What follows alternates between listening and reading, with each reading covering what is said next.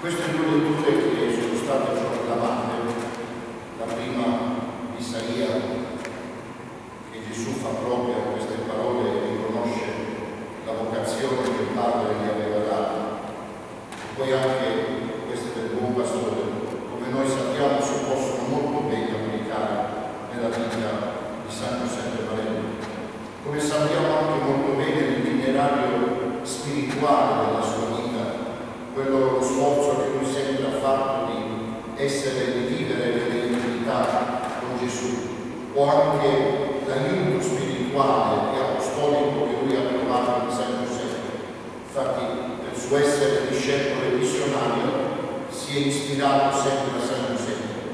Per una delle caratteristiche eh, che a me dice molto nella vita di San Giuseppe Marello, una caratteristica di quando, da quando lui era piccolo, fino a quando è morto, era quello il senso, chiamiamolo così, rivoluzionario della sua vita.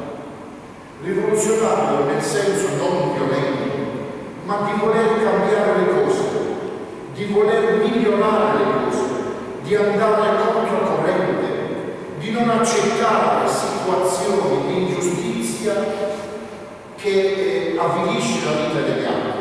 Questo mi sembra una caratteristica forte di San Giuseppe Maria. Lo troviamo per esempio in alcuni esempi. Quando era piccolo, sapete, quella, quel fatto quando intervenne con i suoi compagni piccoli che stavano prendendo in giro quel, quel vecchietto. No? Ecco, lui aveva capito che era una situazione di ingiustizia e lui già da piccolino, il nostro fondatore, non è connivente con situazioni di ingiustizia perché già da piccolo lui aveva in mente la presenza di Dio e lui vedeva in quel vecchietto un'immagine di Dio, allora interviene e va controcorrente in questo avvenimento.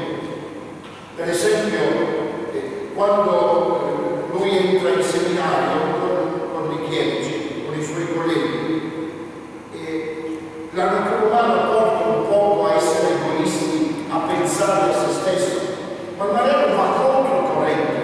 Per esempio quando chiede continuamente chiede al papà i soldi per i suoi compagni. Cioè un uomo sensibile che non accetta le situazioni di povertà materiale e spirituale.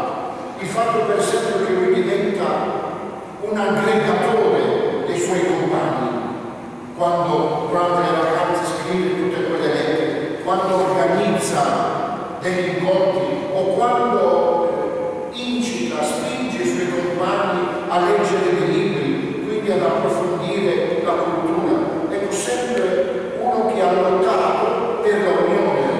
In questo io vedo questo, questo essere rivoluzionario, chiamiamolo così, del Marello, cioè di andare controcorrente, di rompere alcuni schemi che